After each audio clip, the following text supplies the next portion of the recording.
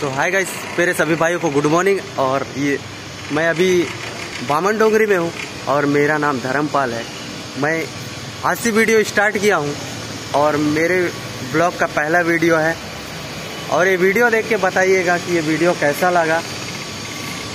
और जैसे कि अभी मैं पहला वीडियो है तो उतना कुछ खास नहीं बता पाऊँगा।